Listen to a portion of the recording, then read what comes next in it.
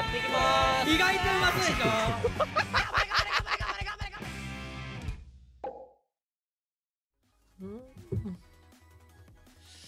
帰ってきました、ボイトレから。外配信の録画はあれなんだよ。街中の BGM 乗っちゃって。普通に配信がミュートになっちゃったりするんでね、録画が消えちゃったりしてるすると困るからさ、外配信は大体、まあ動画で楽しんでくださいっていうものです。錦糸町のエビチャーハンみんな食いに行ってんね。お前ら偉いな。おすすめしたらちゃんと食うんだな。東京に引っ越したんでいつか撮ってしてみたい。もうそこら辺いるぞ、東京なんて言ったら。マシュマロスト配信で見始めたからめっちゃ憧れ。あー、なるほどね。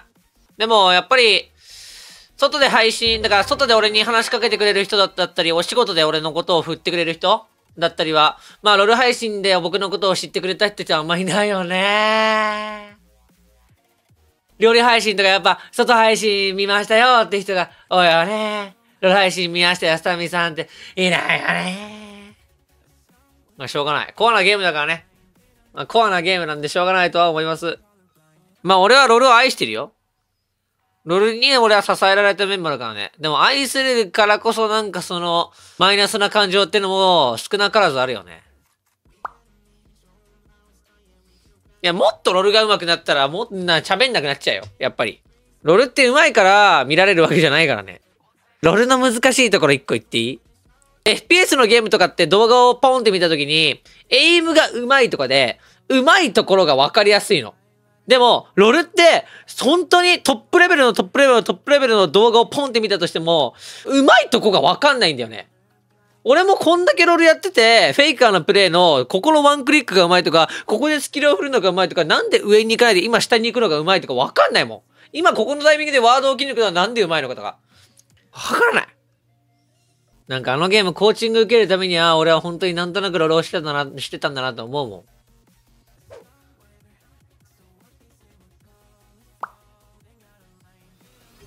これはストーンエースです。ニコチンとかも入ってません。タバコじゃありませんよ。今回は案件の話になるんですけど、なんか紹介とかはあんまいらないんで。うわーよかった。ちょっと待って。そんなに？そんなにかな？タバコ吸ってる時そんななえる？しかもさ、この、この案件配信でマジ桜みたいじゃない？え、スタさんってタバコ吸うんなえたから、俺が、今日俺タバコじゃないんだよって言ったらさ、うわーよかった！タバコじゃねえんだそれ何？桜？今、そんな、どうなんだろうね。そこまで嫌いっていう人いるのか。サボってんじゃねえって思う。まあでも、まあ確かに喫煙者の人人たちって、絶対に行くよね。リオンのおもろいエピソードがさ、スカイピースのライブ行ったんだって、リオンが。で、あいつも本当にヤニショーだから、もう最後の曲アンコールいっちゃおうみたいなところで、あの、ヤニ水に行って帰ってこなかったらしい。もう鳥の鳥の鳥、最後の最後、一番盛り上がるところで、いや、ヤニ水に行ったってあいつ。肺毛出てる人の喫煙率、確かに高いかもね。まあでもパソコンゲーマーとかさ、喫煙だったりさ、それこそ、その、ニコチンとか入ってないけど、こういうものを使うんじゃない？口寂しさがあるっていうのは分かる気はするんだよね。すごく。これ言っていいのか分かんないけど、これのフィードバック会があったの。このフィードバックの回があって、おのおのの、このストーンエースの感想を言ってくんだけど、シャルル氏の意見がめっちゃおもろくてさ、僕はね、あの、暇な時間に、あの、口寂しさがあって、それでご飯食べて太っちゃうんですよ。これ吸い出してからね、太ってないと思いますって言ってて。すごい、なんか、スッと腑に落ちた。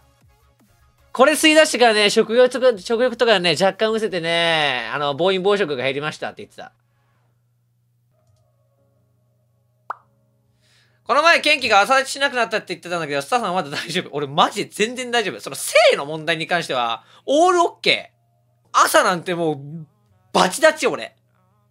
筋トレもしてるし、男性ホルモン的な面で言うと絶対高いから。美味しそうおかしいぞ、お前。美味しそうって。まあでも俺筋トレとかしてる時にそこら辺を重点的に、そのテストステロンを上げるような筋トレをしてるからかもしんない。普段から亜鉛も取ってるし、俺。男性ホルモン。テストステロンって言うんだけど。スクワットを一番やんだよね。スクワットをもうギリギリできるかできないかぐらいの重さを、10回ギリできないぐらいの重さをやるわけよ。5セットぐらい。スクワットはね、まあ直結するね、単純に。ここの筋肉、内転筋って言うんだけど、ここ。ここが直結する。てか、ゲーマーは立った方がいいよね。座るとやっぱり、その血行不良でやっちゃうから、ここら辺の機能って。俺その、障害になったことがあったの、俺。なんて言うんだろう。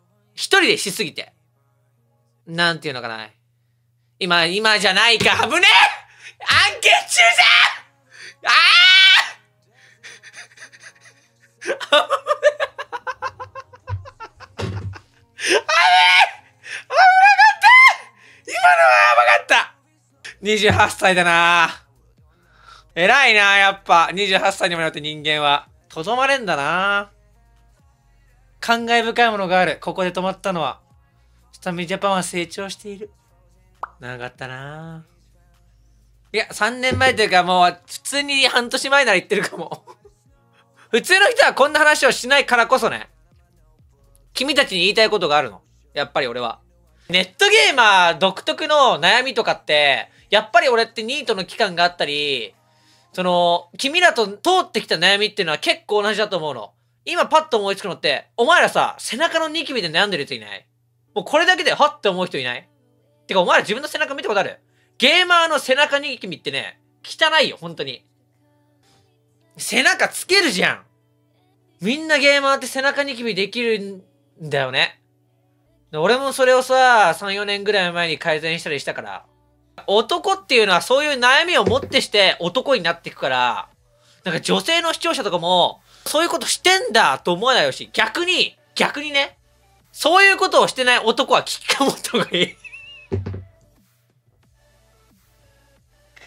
ぱここにたどり着くんやないやでも本当にそうよ。なんかもう何もしなくても肌綺麗なんです。何もしなくてもね、そういう性機能とかがちゃんとしてるんですなんて人いねえから。ケアしてればしてるほど素敵になるからね。それを分かっててほしい、女性にも。そんな王子様みたいなやついない。だから世の中に王子様がいたとしても、そいつらはケアしてんだよ。他の人たちはこの配信何でやってんだろう雷神はなんか、人生相談みたいのしてたな。お悩み相談室みたいな。雷神のあの企画好きなんだよね。人の顔に採点つけるやつ。あれまたやんねえかな？この令和に。マジで時代に逆行しすぎ。ほんとにない。でもクソ尖った YouTuber とか、オープンレック配信者でもしない。今時。なんかディスるっていう方向よりも、なんかね、アドバイスみたいな方向性なんだよね。おもろくて好きなんだよね。雷神が出てる、本当に。鼻はね、もうちょっと尖らしてかもうここの脂肪は削った方がいいよね、みたいな。目に覇気がないとか 言い出して、くそおもろいんよ。そう、視聴者が DM で写真を送るわけよ、本当に。で、それを配信にボンって載せて、点数をつけてくんだよね。ライジンが、なんか、お酒に酔って配信するときも1年に1回あるんだよ。その時に言ってごらん、ライジンに。僕の顔採点してくださいって。そしたらおっぱじまるかもしれない。多分シラフだと今始まんない、彼は。炎上させようとしてる 炎上は多分しないと思う。大丈夫。ま、じゃあマシュマロいきますか。今回は、人生で一番テンパった瞬間と、忘れられない匂い。香り。香り系はね、印象に残るよね。塩素の香りを嗅ぐと、小学生の時のプールとか思い出すやんね。えー、サメさんはじめまして。マシュマロ失礼いたします。忘れない思い出の匂いは、リオンさんの匂いです。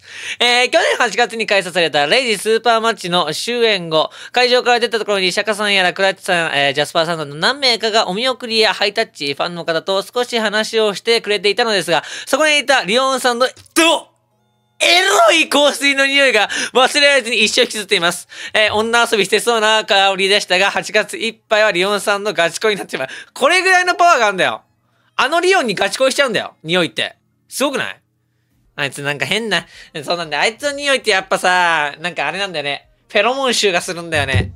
本当にホストがつけてそうなさ、香水つけてるからさ、ドエロ匂いっていうのはわかるわ。えー、久さんはじめまして、いつも楽しく動画を見させてもらっています。私は関東に住んでいるのですが、関西に住んでいる、えー、某ゲーム配信者の元カノです。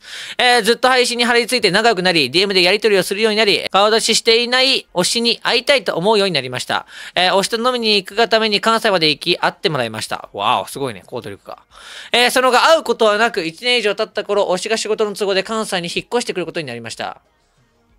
えー、関東かな？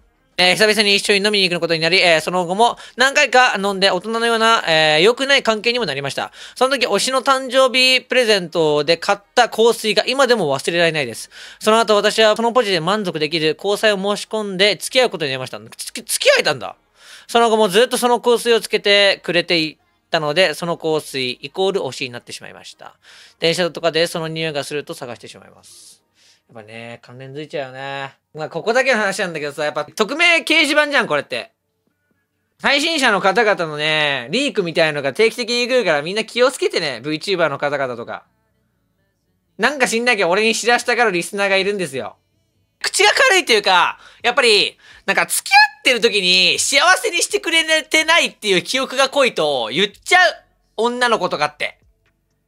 その付き合ってた時とか会ってた時の不幸せさをここに、ここに書くんだよね。女の子側だけの意見しか聞いてないけど、それが本当だとしたら男側も悪いなって思えるような事象が多い。だからみんな気をつけて。えー、アメリカ留学してた頃、女の子といい感じになって一緒に、えー、フライデーパーティーに行くことになって、依頼期待しながらパーティーを楽しんでて、いい雰囲気になった時、えー、女の子から二人で抜け出さないと言われて、彼女の車に乗ったら、なるほどね。ちょっとこれ、してかしていただきます。今、ストーン S の案件してるんで。今、今、ストーン S の案件してるんですいません。テンパった話もたくさんいただきましたよ。えー、小さい頃お父さんだと思って腕を組んだ人が知らない人だった。まあ、これ俺もありますね。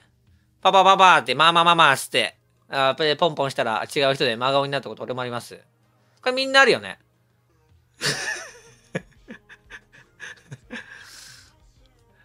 高校の期末テストでカンニングをした時、隣の席の丸村くんがカンニングしてます気づいてたんだ。どんだけカンニング下手くそなんだよ。カンニングしてること気づかれるぐらい下手くそならすんな。なかなかねえだろ。その第三者視点から見られてさ、カンニングバレるんだったらあれだけど、されてる側が気づくってどんだけ下手なの テンパったこと。公共のトイレで運中に一緒に入ってきた3歳の娘がガチャッと鍵を開けた時ですね、社会的に死んだ子でした？これ、想像すると面白くない？生きんでんのにこうやって。子供がこうやって開けたでしょ？おもろいよな。これシ、シチュエーションがおもろい。想像するとおもろいわ。えー、私が人生でテンパったこと、一番テンパったことはオナニーをしていて、いた時に、えー、親が入ってきたことです。いや、俺もね、これ記憶あんだよな。俺もこの木、俺、俺もあるんだよね、これ。えー、これだけ聞くと皆さんあるあるかと思いますが、えー、私の場合は、オナニーと言ってもただのオナニーではありません。そう、フィギュアを使ったぶ、ぶっかけオナニーです。はい。えー、私が、私の子供をそのフィギュアに向けてよしよししていると、いいね、君、文章力あるね。えー、部屋の外で、えー、足音がこちらに向かってくることを指しました。えー、その時私が、えー、体から蹴った魂されるようが鳴り響きました。全身から汗が吹き出し、心臓がものすごい勢いで締め付けられました。サッカーで例えるなら、センターバック、敵との1対1。それにはキーパー、この状況でまたぎされる感覚に近いです。はははは親の足音がドアの目の前に迫ってくる。えー、あと2秒もしたら親の、親がドアを開けてくる。中に入ってくる。えー、しかしまだ私の息子はズボンからはみ出ており、目の前にはアスカのフィギュア。えー、頭の中に思い浮かんだのは、今の私を見てドン引きする母の顔。私は悟りました。もう終わったと。しかし、えー、この絶望な状況をふと、えー、ある言葉が頭によぎりました。考えるな、動け。私の大好きな映画、トップガンマーベリックで主人公マーベリックがいたセリフでした。こいつクソだ。考えるな、動け。ここから私は素晴らしい反撃が始まります。えー、まず私は、えー、ドアを塞ごうと思い、私の愛用していたゲーミングチェアをドアを抜き蹴っ飛ばしました。えー、すると、親が開けるタイミングと椅子のぶつかるタイミングがちょうど噛み合い、え、親のドアブロックに成功しました。えー当然開けようとしていたドアがいきなり何かが勢いよくぶつかったものですか、親は、うわーと言って驚いていました。隙ができたと思った私はアスカのフィギュアをゴミ箱の中にぶち込み、私の息子をズボンの中に隠しました。えーそして横の壁に思いっきり体を打ちつきました。そう、えー私はいつから転げ落ちたという状況を作り出したのです。ドンという鈍い音が家の中に、えー響きを渡り、えー親がどしたんと言いながら部屋に入ってきました。私は、いえ、行ってと言い、えーいかにも転げ落ちた風な演技をしていました。えーこうして私は体に痛みを受けることとの引き換えに、オナニーを隠蔽することに成功しました。長くなってすいませんでした。まあ、テンパったにしては冷静な判断すぎるけどね。こんぐらいのテンパりレベルで、この対処ができるんだったら、今後の社会何も怖いことないよ。多分バレてるよ。こういうのってな、親って知ってるからね。バレてるよ。うわー、これねえー人生で一番テンパった時の話。中学2年生の時です。あの日私はいつものように親からもらったお古のスマホでエッチなサイトを、えー見ていました。その私にぶっ刺さりそうな動画が見つかったので、ウキウキでリンクを踏みました。すると画面が突然切り替わり、会員登録ありがとうございます。と大きく表示され、下には、えー何月何日までに15万円振り込んでくださいとありまして、うわーえー結局スマホを初期化した後、えー無視して特に何もなかったのですが、えー知識がなかったので、あの時は死ぬほどテンパったし数日間は恐怖で夜もあまり眠れませんでした。あるあるだよな。俺さ、これ俺も経験してて、俺の友達に A 君って人がいたんだけど、俺学校サボってそいつとネカフェに行くのにハマってたのよ。ソファー席でさ、俺の隣で A 君がクソテンパってんの。で、どうしたって聞いたら、40何万円何月何日までに振り込んでくださいって言うからポーンって出てて、親くんもう、ああ、ああってなってるわけ。え、これはもう、俺もこんなん初めてだから、クラスの男子みんな集めて会議しようってなって、クラスの男子バーンって集まって、これは俺たちが多分、多分だけど騙されてるんだ。でも、一応電話しないといけないから、クラスで一番声ののぶといやつ呼んできて、そいつのお父さん演じてもらおうっつって。で、その時、リンってやつがいたんだけど、リンお前ちょっと声出してみて。うん、お父さんだな。おし、リン、この電話番号にかけて、すいません、それは払えませんっていうことだけ言ってくんないか？って言って、わかったって言ってリンが、もしもしって言ったら、はい、親御さん出してくださいね。ガチャって切られたっていう エピソード、僕は持ってます。はい。もうその時みんな、ガチャって切られた時に、終わった。終わった、この、俺たち、俺たちもうみんなで考え出したこの作戦が通じなかったらどうしようで、俺もテンテンパったね、記憶あります。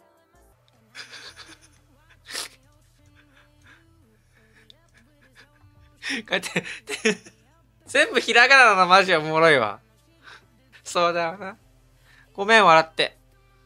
えー、人生で一番テンパった出来事。第一志望の高校入試の日、緊張、緊張しすぎて、駅の出口を間違えて、会会場と逆方向に進み続け、えー、間違いに気づくとき、近くにいたお姉さんに道を聞いて出して駅に戻ったけど、えー間に合うか、え間に合わないかギリギリで、ほぼ、えーパニック。交番で道を聞こうとしたら、さっきのお姉さんが走ってきてくれて、3000円渡してくれて、えーこれでタクシー拾って会場へ向かいなと言ってくれた。えー交番の警察もお姉さんも、えー間に合え頑張れと言ってくれて、無事に間に合え、その学校に合格することができたんだけど、えー何年も経った今でも忘れないくらい汗かいたし、テンパった出来事です。はい、本当にお姉さんと交番の警官には、警察官にはお礼を言いたいし、えーあの時は本当にありがとうございました。